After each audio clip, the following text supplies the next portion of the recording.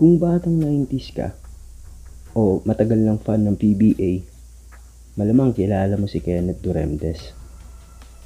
Binansagan din siya ng Captain Marvel dahil napakatindi nito sa loob ng court. May tres, may dos, malas mo pag dinakdakan ka neto. Kung may KD, ang NBA, meron din ng Pilipinas, no? Siya naman, si Kenneth Duremdes. Maswerte ka kung ikaw yung nasa team ni Kenneth. Kasi for sure, tutulong to sa pag-score. For sure, gagawa, gagawa ng paraan to para maka-score. Pero kung ikaw naman ang kalaban nito, malamang isa to sa mga tinik ng team nyo. Mahirap pigilan. Pag dinikitan mo, dadrivean ka. Pag minalas ka, dadakdakan ka. Pag masyado mo namang inabangan na magdadrive siya, pupukulan ka naman ng tres. Ganito ka kumpleto maglaro si Kenneth Duremdes. Kumusta mga ka-dribble? Stay home lang muna tayo. Quarantine para safe. Ako nga pala si Jess. At tara, samahan niyo ako sariwain ang kwento ng isang Kenneth Duremdes. Si Kenneth Silera Duremdes ay tubong Coronadal sa South Cotabato. Elementary at high school pa lamang siya ay varsity player na ito ng Notre Dame of Marbel University. Habang naglalaro doon si Kenneth, ay nadiskubre siya ni Angel Patrimonio, ama ng isa ding PBA great na si Alvin Patrimonio. Kalagitnaan ng 90s ay pumasok sa UAAP si Kenneth Duremdes bilang isang Falcon. College level pa lang ito ay itinuturing kinukonsidera na future PBA star. Naglaro din si Kenneth Duremdes sa PBL at pinakita agad kung gaano ito kagaling. Kaya naman walang nagtaka noong 1993 ay nag-Rookie of the Year ito.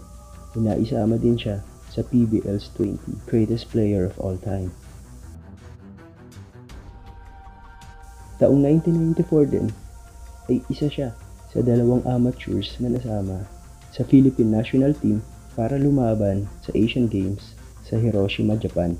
Taong 1995 ay nagpa-draft na si Kenneth Duremdes sa PBA.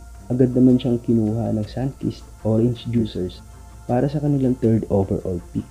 May halong malas at swerte tong rookie year ni Kenneth. Swerte siya kasi dalawang kampyonato agad na nakuha niya. Malas lang kasi nasa shadow siya ni Ariel Voyager na MVP din ng taong yun. Walang iba, Isabel Meneses. Nahirapang magpakita ng talento at galing si Kenneth dahil bukod kay Meneses, kasama niya rin sa team ang The Bull na si Nelson Asaitono at ang 1994 Rookie of the Year Boy Beats Victoria. Pero noong 1996 All-Star Game ay pinasilip ni Kenneth Duremdes ang kanyang angking galing nang pinumunuan niyang talunin ang All-Star veterans at nahirang na most valuable player Nagpalit naman ng pangalan ng Sunkist. Ginawa nilang Pop Cola. Na trade man si Nelson Asaitono ay limited role at limited minutes pa rin ang nakukuha ni Kenneth. Kaya pagkatapos lamang ng isang conference ay na-trade na siya. Sa isa, sa pinakamagandang nangyari sa PBA career niya, ang mapunta sa Alaska. Walang sinayang na pagkakataon si Kenneth Duremdes at pinakita niya agad at ipinamalas kung gaano siya kahusay sa laro ng basketball. Sa Alaska, kuminang ng husto ang bituin ng isang Kenneth Duremdes.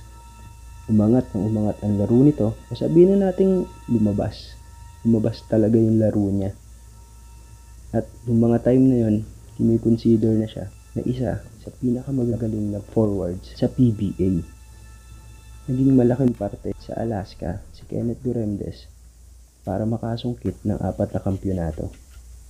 Isa, noong 1997 Governor's Cup at sa taong 1998 naman ay sandamakmak na awards, achievements at accolades ang mga nakuha ng isang Kenneth Duremdes. Mga awards, mga achievements na nagpapatunay na isa ng legit at ganap na superstar si Captain Marvel. Nagpatuloy naman ang magandang karera ng isang Kenneth Duremdes.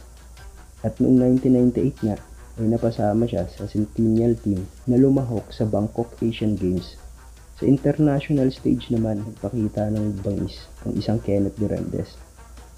Nakatulong na husto ang kanyang 11.9 points average upang makuha nila ang bronze na medalya sa Asian Games na ito. Sa parehong taon din na yon ay napanalunan ng Pilipinas ang Jones Cup sa Taiwan kung saan si Kenneth Duremdes ang namuno bitbit ang kanyang 17.3 points na average kada laro. O di ba? Di naman busy ang kapitan natin. At masyado na ata talagang magaling si Kenneth ng mga panahong yon. O baka naman madami na siyang mga napabilib sa pagiging fearless niya sa court. Alam niyo ba na noong taong 2000 ay napasama na si Kenneth Duremdes sa PBA's 25 Greatest Player of All Time. At limang taon pa lang siya naglalaro sa PBA. Considering na yung first two years niya, halos nasa shadow lang siya ng isang Vergel Meneses. Huli namang nagsilbi si Kenneth Duremdes para sa national team ng Pilipinas noong 2002 Busan Asian Games. 2000 All-Filipino Cup Champions. Yan ang huli na panalo ng kampyonato ni Duremdes sa Alaska dahil taong 2003 ay ginulat lahat ng Alaska kahit si Commissioner Noli Ayala. Na-trade nga si Kenneth Duremdes sa Santa Lucia Realtors kapalit ng future round picks na ginamit naman ng Alaska para makuha ang high-flying Phil-Am si Brandon Cablay. Pinartner ng Alaska si Brandon Cablay sa number 1 pick nito na si Mike Cortez. Gulat man ay tinanggap ni Kenneth Duremdes ang kanyang kapalaran. Ngunit may napapabalita noon na ito raw ang nag-request na umalis na sa team ng Alaska. At eto nga ang komento ni Coach Tim Cone. Sa Santa Lucia ay bumuo naman ng sariling trio si Kenneth Duremdes na pinamumunuan ng isang 6 foot 9 giant Marlo Aquino at kapwa superstar Dennis Espino. Naging positibo at masaya naman ang naging reaksyon ng Santa Lucia head coach na si Al Francis Chua sa pagdating ni Captain Marvel sa kupunan ng Santa Lucia. Si Skyscraper, Dennis Demenes ay meron ng Captain Marvel na makakatulong para makasungkit ng kampyonato. Pero after ng 4 seasons ay wala kahit isang nakuha ang tatlong ito. Kaya nagpa siya ng pakawalan ng Realtors si Kenneth Duremdes at mapunta sa Coca-Cola Tigers. Isang buong season na naglaro si Kenneth sa Coca-Cola Tigers ay ginawa na siyang head coach ng nasabing team. Sa kasamaang palad, hindi naging maganda ang coaching stint na nakapagtala lamang ito ng 14-21 win-loss card. Pinalitan ni Bo Perasol at pre-promote na team manager kalaunan ay ginawang alternate governor ng Coca-Cola Tigers.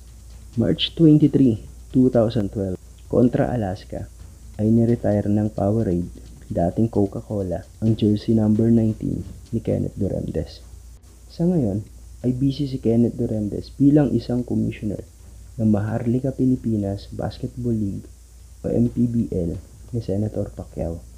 Retired at busy man ay naglalaro pa rin ng basketball si Kenneth Duremdes dahil ayon sa kanya, hanggat may basketball, maglalaro siya nito. Salamat sa panonood mga kadribol. Hanggang sa susunod nating mga videos. Ingat and thank you.